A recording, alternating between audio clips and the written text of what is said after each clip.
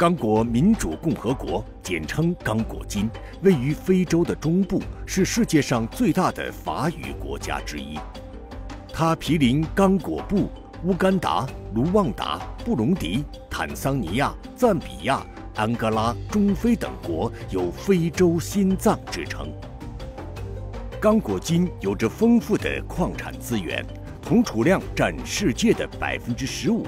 钴储量和产量分别占世界的百分之五十和百分之七十，坦尼矿储量占世界总量的百分之八十。这个有中非宝石美誉的国度，还蕴藏着丰富的森林、水利等资源。I know that uh, DR Congo is the most uh, biodiverse country in Africa. Uh, it's the second largest country in Africa, of course. There's a lot to be shared when it comes to conservation of biodiversity.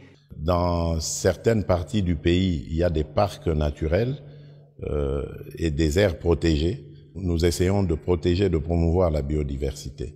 Mais évidemment, nous sommes euh, confrontés à beaucoup de défis. Je pense qu'il faut aussi euh, réussir à sensibiliser la, planète entière. Et là, je remercie la Chine parce qu'elle est sensible à cela pour que euh, on mobilise les, les, ressources nécessaires promises, euh, par exemple, lors euh, de la COP 21 en 2015 euh, à Paris, euh, pour protéger l'environnement, protéger la biodiversité, protéger les pays qui sont capteurs de, de, de la pollution des, des pays industrialisés.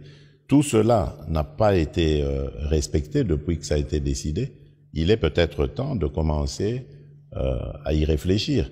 Et c'est pour ça que la Chine a une position importante, euh, vu le fait qu'elle est parmi les P5, les pays membres euh, du, du, Conseil de sécurité, du membre permanent du Conseil de sécurité.